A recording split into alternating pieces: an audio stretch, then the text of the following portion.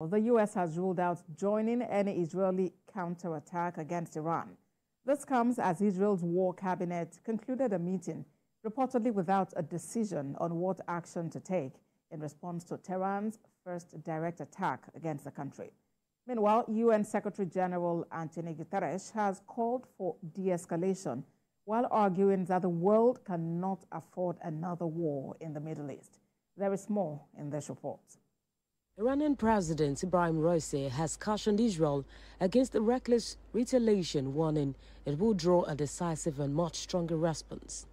This comes after Iran unleashed a barrage of missiles and drones targeting Israel in retaliation for the April 1 strike on its consulate in Damascus that reportedly killed 13 people, including two senior generals and other members of the Islamic Revolutionary Guard Corps.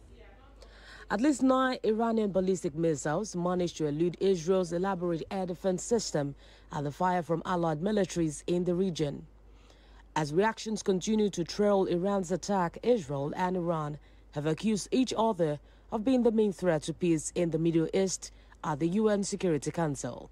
Addressing the emergency meeting, Iran's UN ambassador Amir insisted Tehran was exercising its inherent right to self-defense after its unprecedented strikes on Israel.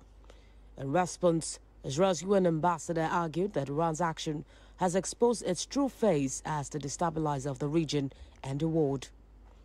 Still on this, the Israeli army says it won't be distracted from its war in Gaza after Iran's unprecedented strikes.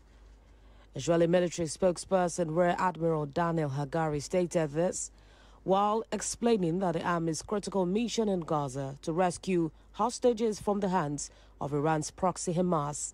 He's also revealed that about 130 people, including the bodies of 34 presumed dead, remain held in Gaza.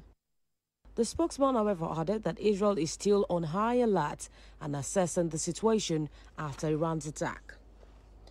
Meanwhile, the United Nations has called on Iran and Israel to show restraint with the threat of a full-scale direct conflict between the pair looming over the Middle East.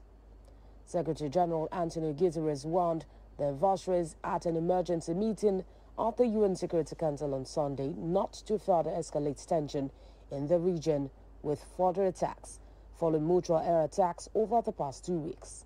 Similarly, French President Emmanuel Macron has called Iran's attack on Israel disproportionate to Israel's strike on Tehran. British Foreign Secretary David Cameron has also urged Israel not to retaliate, saying the focus should remain on a ceasefire in Gaza.